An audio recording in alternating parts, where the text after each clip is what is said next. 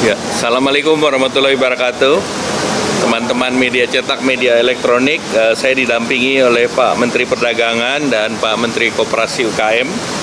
Hari ini rapat internal membahas terkait dengan eh, pengetatan arus barang impor. Jadi eh, dilatar belakangi dengan beberapa keluhan dari asosiasi maupun eh, masyarakat terjadi yang terjadi akibat tingginya atau banjirnya barang impor di pasar tradisional, sepinya pasar tradisional dan peningkatan penjualan bukan barang dalam negeri di e-commerce. Nah, yang ekspor ini tentunya akan mengganggu terhadap pangsa pasar produksi dalam negeri. Kemudian juga maraknya impor ilegal pakaian bekas dan juga di sektor industri tekstil terjadi PHK. Oleh karena itu eh, perlu beberapa hal yang ter, eh, terkait dengan hal tersebut untuk diregulasi ulang. Nah, pemerintah eh, tadi arahan Bapak Presiden untuk fokus pada pengetatan impor komoditas tertentu. Nah, komoditas yang dipilih adalah mainan anak-anak, elektronik, alas kaki, kosmetik, barang tekstil, obat tradisional dan suplemen kesehatan, pakaian jadi dan aksesoris pakaian jadi dan juga uh, produksi tas. Jumlah HS code-nya yang dirubah ada 327 kode pos untuk produk tertentu, untuk pakaian jadi ada 328 kode pos dan untuk tas ada 23 kode HS. Nah, saat sekarang yang sifatnya post border dirubah menjadi border dan pers dengan persetujuan import dan juga laporan surveyor. Nah, Indonesia sendiri sudah uh, menangani beberapa komoditas baik yang uh, ada lartas itu ada 60% dan non lartas ada 40%. Dan kemudian dilakukan pengawasan kepada importir umum.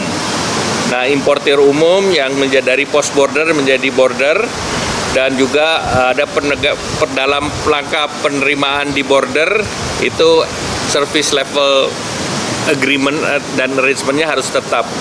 Jadi jangan sampai ini menambah dwelling time. Dari Indonesia sendiri di negara ASEAN dwelling time kita nomor dua terbaik sesudah Singapura, yaitu sekitar 3,2 hari. Singapura tiga hari, yang lain di atas 4 hari dan akibat dari perubahan post border menjadi border maka ada regulasi yang harus diperbaiki dari kementerian jadi peraturan Menteri Pertanian harus berubah, melakukan perubahan, perdagangan, perindustrian, Badan POM, kemudian Kementerian Kesehatan, Menteri SDM, dan Kominfo. Bapak Presiden minta bahwa peraturan menteri turunannya ini bisa segera direvisi dalam waktu dua minggu. Nah, kemudian eh, terkait dengan kebijakan melalui kawasan eh, berfasilitas, tadi Bapak Presiden mendorong untuk industri tekstil yang mengalami PHK, mereka diberikan tambahan kemudahan untuk menjual di dalam negeri. Saat sekarang mereka diberikan eh, ekspor 50% dan kalau menjual di bawah di atas di bawah 50% untuk ekspor, maka diberikan uh, surat rekomendasi dari Kementerian Perindustrian. Oleh karena itu Permen Perin terkait dengan uh, industri tekstil itu perlu dilaku, perlu juga direvisi ataupun dibuat uh, yang baru. Kemudian uh, kebijakan lain yang didorong adalah pakaian bekas. Nah, pakaian bekas ini karena dilarang, maka peredarannya pun perlu dilarang dan Menteri Perdagangan akan masuk dalam revisi Permendak tersebut. Kemudian import barang titipan atau jasa titipan, nah ini adalah pengetatan di pelabuhan-pelabuhan. Nah ini kerjasama dari Dirjen Imigrasi, jangan sampai ada uh, orang yang kerjanya bolak-balik hanya untuk import jasa barang titipan. Dan dari Kementerian uh, Keuangan kan sudah membuat regulasi untuk jarak barang titipan itu yang bebas di bawah 500 dolar. Yang sisanya tentu dikenakan biaya masuk. Nah, usul uh, lain tentu dibentuk Satgas terdiri dari Polri, Bea Cukai, Perdagangan, Perindustrian, Koperasi UKM, Kominfo dan Badan Karantina. Kemudian juga uh, perlu diperkuat terkait dengan uh, digital kelembagaan terkait dengan Badan Perlindungan Konsumen, kemudian KPPU agar bisa menjaga uh, unfair practice tetapi di sektor digital dan juga pengenaan semua standar baik SNI, BPOM maupun uh, sertifikasi halal untuk sektor e-commerce.